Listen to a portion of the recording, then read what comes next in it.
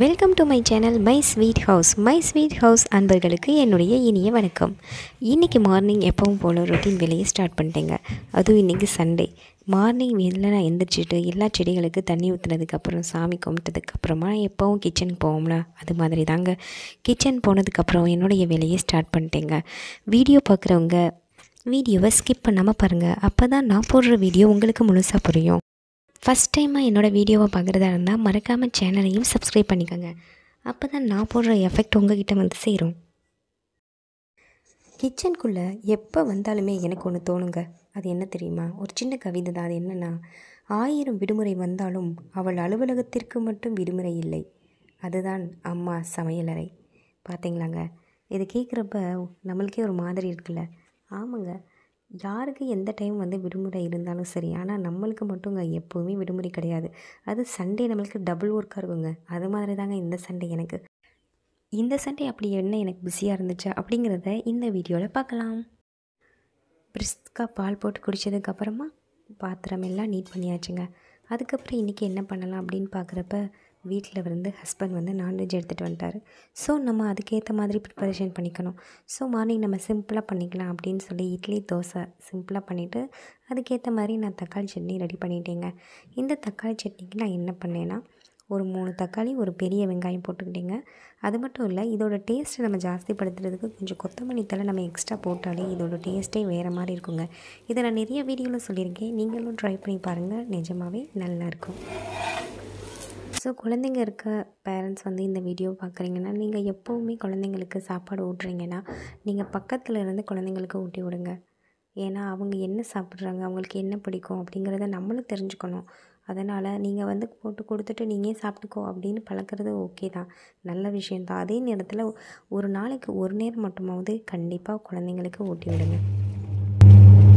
Next washing மிஷினில் இருக்க dresses எல்லாத்தையும் வாஷ் பண்ணிவிட்டு என்னோடய சமையல் வேலையையும் பார்த்துக்கிட்டு இருந்தேன். நெக்ஸ்ட்டு நான் துணியெல்லாம் காய போட்டுட்டு வந்ததுக்கப்புறமா என்னோடய குழந்த வந்து சாப்பாடு ஊட்டி விட்டுட்டே அவன் விளாடுறத ரசிச்சுக்கிட்டு இருந்தேன். பார்த்தீங்களா சார் வந்து பாட்டுக்கு வந்து டான்ஸ் ஆடிக்கிட்டே சாப்பிட்டுட்ருக்காரு.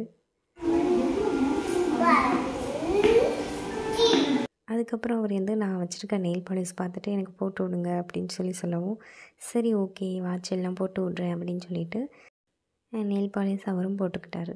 பாருங்கமே இவ்வளோ க்யூட்டாக வந்து காட்டுறாரு சாரு. என்ன தான் வேலை நிறையா இருந்தாலும் அதே நேரத்தில் குழந்தைங்களுக்காகவும் டைம் ஸ்பெண்ட் பண்ணுறது ரொம்ப முக்கியம்.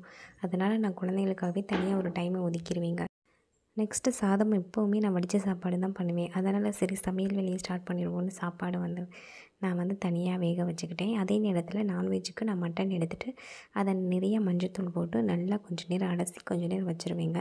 இது வந்து நான் கொரோனா டைம்லேருந்து இந்த மாதிரி தாங்க நான் பண்ணுவேன். இது எப்படின்னா நல்லா வந்து மஞ்சத்தூள் போட்டு நல்லா கொஞ்சம் நேரம் ஊற விட்டுட்டு அதுக்கப்புறம் வந்து நம்ம தனியாக வேக வச்சுருவோம். அதுக்கப்புறம் சைடில் சாப்பாடு வெந்துருச்சு. ஸோ நான் வந்து அது கொஞ்சம் ஹாட் பாக்ஸில் எடுத்து நான் எடுத்து வச்சுக்கிட்டேங்க. நான் மேக்ஸிமம் குக்கரில் வந்து சாப்பாடு பண்ணவே மாட்டேங்க. எப்போவுமே வடித்த சாதம் தான் பண்ணுவேன். இந்த மாதிரி நம்ம பண்ணுறப்ப நம்ம வீட்டில் குழந்தைங்க இருந்தால் அந்த சாப்பாடை நம்ம என்ன பண்ணலான்னா இன்னுமே நம்ம மசிச்சு மத்தில் மசிச்சோ இல்லை மிக்சியில் ஒரு அடி அடித்தோ வந்து அதில் வந்து இப்போ நான்வெஜ் பண்ணுற டைமில் வந்து சூப்பு மிக்ஸ் பண்ணி அவங்களுக்கு ஊட்டி விடலாம். இல்லை பருப்பு சாதம். நம்ம எந்த சாதமாக இருந்தாலும் மசிச்சு விட்டு நம்ம குழந்தைங்களுக்கு கொடுத்தோம் அப்படின்னா இன்னுமே குழந்தைங்க நல்லா விரும்பி சாப்பிடுவாங்க. நெக்ஸ்ட்டு குழம்புக்கு தேவையானது எல்லாமே ரெடி பண்ணி எடுத்து வச்சிட்டேங்க. அதுக்கு முன்னாடியே நான் மட்டன்லேருந்து குழந்தைக்கு கொடுக்கணுங்கிறதுக்காக சூப் எடுத்து தனியாக எடுத்து வச்சிட்டேங்க. மட்டன்லேருந்து எடுத்து கொடுக்குற சூப்பு தாங்க ரொம்ப குழந்தைங்களுக்கு ஹெல்தி இதை நீங்கள் வந்து சிக்கன்லேருந்து எடுத்து கொடுத்தீங்கன்னா ரொம்ப சூடு தான் குழந்தைங்களுக்கு அதிகமாக இருக்கும்.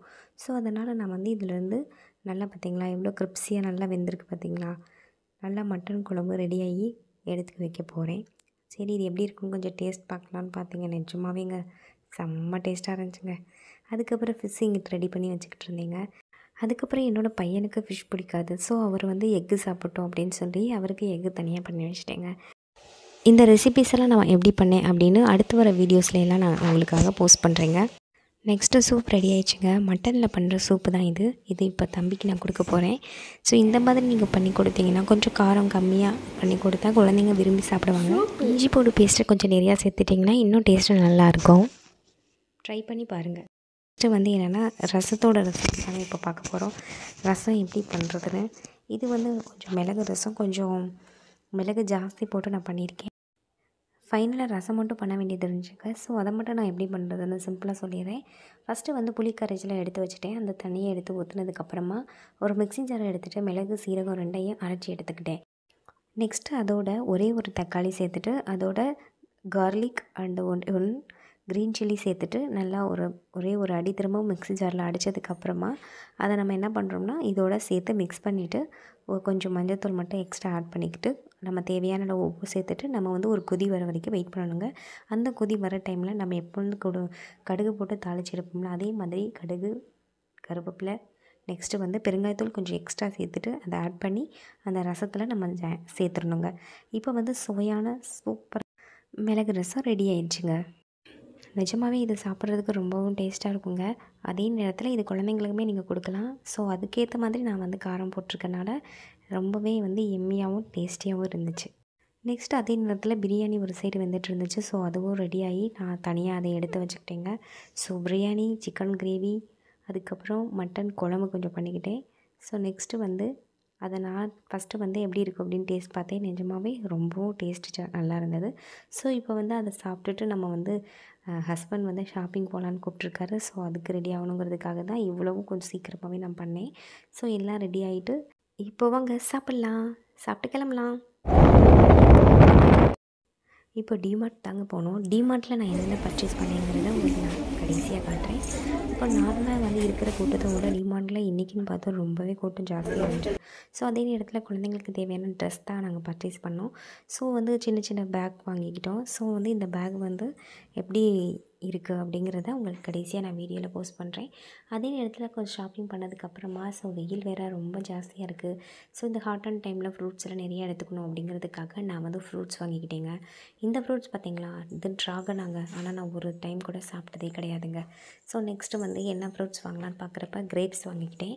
ஸோ நெக்ஸ்ட்டு வந்து இந்த மித்த ஃப்ரூட்ஸ் எல்லாம் என்னென்ன புதுசாக இருக்குது அப்படிங்கிறத நான் பார்த்துக்கிட்டேன். இந்த மாதிரி ஃப்ரூட்ஸ் எல்லாம் நான் சாப்பிட்டதில்ல. இந்த பழத்தை பார்த்தீங்களாங்க? எப்படி இருக்குன்னு? இந்த பழம் பேர் என்னென்னு என் ஹஸ்பண்ட் கிட்ட கேட்டேன். அவர் லிச்சி பழம்னு சொன்னாருங்க. ஆனால் எனக்கு தெரியல. இந்த பழத்தை நான் சாப்பிட்டதும் கிடையாது. ஸோ குழந்தைங்களுக்கு வந்து ஏதாவது டாய்ஸ் ஏதாவது வாங்கலாம் அப்படின்னு பார்க்குறப்ப இந்த கேண்டீஸோடு இருக்க டாய்ஸ்லாம் வந்து இருந்துச்சு. ஸோ இந்த மாதிரி டாய்ஸ் வந்து குழந்தைங்களுக்கு ரொம்ப பிடிக்கும் அப்படிங்கிறதுக்காக இது மாதிரி ஒரு ரெண்டு மூணு டாய்ஸ் மட்டும் நான் எடுத்துக்கிட்டேங்க. மேக்ஸிமம் வந்து இந்த மாதிரி டாய்ஸ் நான் அவாய்ட் பண்ணிடுவேன். இதில் வந்து ஒரு டாய்ஸோடு இருக்கனால நான் சரி இந்த கேண்டீஸ் வந்து ஒரு ரெண்டு மூணு பர்ச்சேஸ் பண்ணேன். ஸோ நல்லாயிருக்கு பார்க்குறதுக்கு. நெக்ஸ்ட்டு தேவையான திங்ஸ் எல்லாம் வாங்கினதுக்கப்புறமா நாங்கள் கிளம்பிட்டோங்க. அந்த வேலை கேக் ஷாப் இருந்தனால டூ கேக் மட்டும் வாங்கிக்கிட்டோங்க. எவ்வளோதான் ஹோம் மேக்கர்ஸ் வீட்டில் வந்து வேலை பார்த்தாலும் இந்த மாதிரி கொஞ்சம் நேரமாவது வெளியில் போயிட்டு வந்தாங்க மைண்ட் கொஞ்சம் ரிலாக்ஸாக இருக்கும். ஸோ அந்த மாதிரி தாங்க இப்போ எனக்கு இருக்குது ஸோ மைண்ட் ரிலாக்ஸாக இருக்குது ஸோ நான் வெளியில் வந்து என்ன பர்ச்சேஸ் பண்ணேன் அப்படிங்கிறத பார்க்கலாம். இந்த ஹேண்ட்பேக் ஒன்று வாங்கிக்கிட்டேங்க. ஸோ வந்து இது வந்து நார்மலாக போடுற ஹேண்ட்பேக் கிடையாது. ஸோ நம்ம ஏதாவது வெஜிடபிள்ஸ் ஏதாவது வாங்குகிறோம்னா அதுக்கு ஏதாவது யூஸ் பண்ணிக்கலாம். இது ஜஸ்ட்டு வந்து ரேட் பார்த்தீங்கன்னு வச்சுக்கோங்கமே டூ ஹண்ட்ரட் தாங்க. ஒன் நைன்ட்டி நைன் இந்த ஹேண்ட்பேக்கோட ரேட் வந்து பார்த்திங்களா ரொம்ப கம்மியாக தான ரேட் தான். ஸோ இதில் வந்து நல்லா நிறையா வந்து பொருள் வந்து ஸ்டோர் பண்ணி வைக்கிற மாதிரி இருக்குது நான் வாங்கின திங்ஸ் எல்லாம் கூட இதுலேயே நான் வாங்கிக்கிட்டேன். ஸோ பார்த்தீங்களா எல்லா திங்ஸும் வந்து இதுலேயே நான் வச்சுக்கிட்டேன். ஸோ அந்த மாதிரி வந்து இது கொஞ்சம் வெயிட்டும் தாங்குற மாதிரி இருந்துச்சு. ஸோ நான் வாங்கின குழந்தைங்களுக்கு வாங்கின ட்ரெஸ்ஸஸும் கூட இதுலேயே நான் வந்து ஸ்டோர் பண்ணி வச்சுக்கிட்டேன். ஸோ அந்தளவுக்கு வந்து இது ஒர்த்தபுளாக இருக்குது நெக்ஸ்ட்டு என்னோடய கிச்சனுக்கு வந்து ஒரு குட்டி டஸ்ட்பின் வாங்கணும் அப்படிங்கிறது வந்து நான் வீட்டிலேயே வந்து பிளான் பண்ணிட்டு போயிட்டேன். ஸோ வந்து அங்கே போனோன்னா வந்து நான் இந்த மாதிரி திங்ஸ் என்னென்ன வாங்கணும் அப்படிங்கிறத நான் தேடி அந்த டஸ்ட்பினும் நான் வந்து எடுத்துட்டேன். ஸோ இந்த டஸ்ட்பின் பார்த்திங்கன்னா ரொம்ப சின்னதாக ரொம்ப கம்ஃபர்டபுளாக இருக்குது இது வந்து என்னோடய கிச்சனுக்கு வச்சா ரொம்பவே நல்லாயிருக்கும் அப்படின்னு எனக்கு தோணுச்சு. ஸோ நான் இந்த மாதிரி டஸ்ட்பின் ஒன்று வாங்கிக்கிட்டேங்க.